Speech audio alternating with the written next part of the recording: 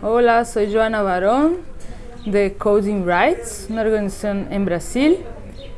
Yo vine para hablar de hackeos feministas ah, que tienen que ver con protección de datos, libertad de expresión en la red.